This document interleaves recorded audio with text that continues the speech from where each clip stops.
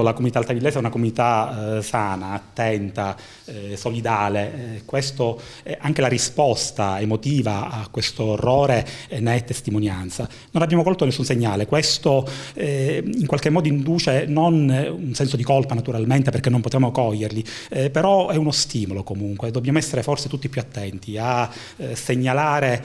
per noi e per altri laddove dovessimo cogliere qualcosa che non funziona. Sento adesso della vicina o di qualcuno che aveva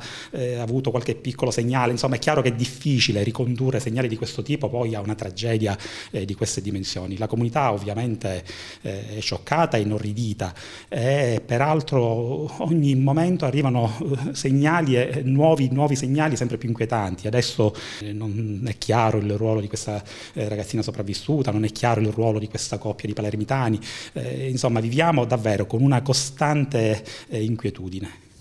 La religione con tutto questo ovviamente non, non c'entra e non ci può entrare, eh, l'ho detto eh, più volte, ad Altavilla convivono serenamente eh, comunità, la comunità cattolica naturalmente che è la comunità prevalente, Noi, il paese è cresciuto, si è sviluppato all'ombra del santuario, adesso è diventato eh, basilica, meta di grandi pellegrinaggi, convivono poi queste realtà, queste comunità del movimento evangeliche che con sobrietà predicano anche loro. E l'ho detto fino allo stremo, eh, sia la comunità cattolica che quella evangelica evangelica predicano l'amore eh, per, per, la vita, eh, per il, il valore eh, dell'uomo naturalmente. Tutto questo, ripeto, non è religione, questa è una follia che può avere eh, forse eh, matrice in un fanatismo religioso, questo non lo so e saranno ovviamente eh, gli inquirenti e i loro consulenti a, a stabilirlo, ma la religione naturalmente non, non c'entra. La comunità intanto è davvero stretta attorno a questo dolore eh, collettivo per la verità e desiderosa di eh, testimoniare questo sentimento di dolore, lo faremo mh, mm, con una sobria fiaccolata probabilmente il giorno